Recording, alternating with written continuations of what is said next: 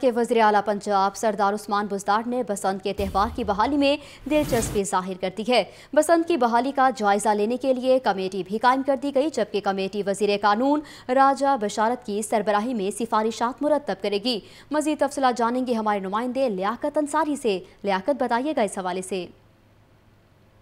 کے تہوار کے حوالے سے ایک اہم فیصلہ وزیر اعلیٰ پنجاب سردار عثمان بزدار کا سامنے آیا اور انہوں نے بسنت کا تہوار جو ہے اس کی لاہور میں بحالی کے لیے دلچسپی ظاہر کی ہے۔ اس کے ساتھ ساتھ ہی انہوں نے فوری طور پر وزیر قانون راجہ بشارت کی سربراہی میں آٹھ رکنی کمیٹی بھی تشکیل دے دی ہے۔ یہ کمیٹی اس حوالے سے مشاورت کرے گی سفارشات مرتب کرے گی اور جائزہ لے گی کہ بسنت کے تہوار کی اجازت دینے کے حوالے سے جو ہے یا اس کی بحالی کے حوالے سے کس قدر نقصانات کا اندازہ ہوگا یا کس قدر اس میں فائدہ ہوگا۔ ان تمام اثرات، نقصانات اور مضمرات جو ہے ان کا جائزہ لینے کے بعد جو ہے اس حوالے سے حتمی فیصلے کا اعلان کر دیا جائے گا۔ بہرحال وزیر اعلیٰ پنجاب کے ترجمان ڈاکٹر شہباز گل کے مطابق وزیر اعلیٰ پنجاب سردار عثمان گزدار نے اس عمر میں دلچسپی ظاہر کی ہے کہ لاہوریوں کو جو ہے ان کی ثقافت جو ہے اس کے حوالے سے اور اس تہوار کے حوالے سے ایک اچھی خبر دی جائے خوشخبری دی جائے اور انہوں نے اس تہوار کی بحالی میں بھرپور طریقے سے دلچسپی کا اظہار کیا ہے۔ بالکل وزیر اعلیٰ پنجاب عثمان بزدار کی جانب سے بسنت کے تہوار کی بحالی میں دلچسپی ظاہر کی گئی ہے۔ لیاقت انصاری بہت شکریہ۔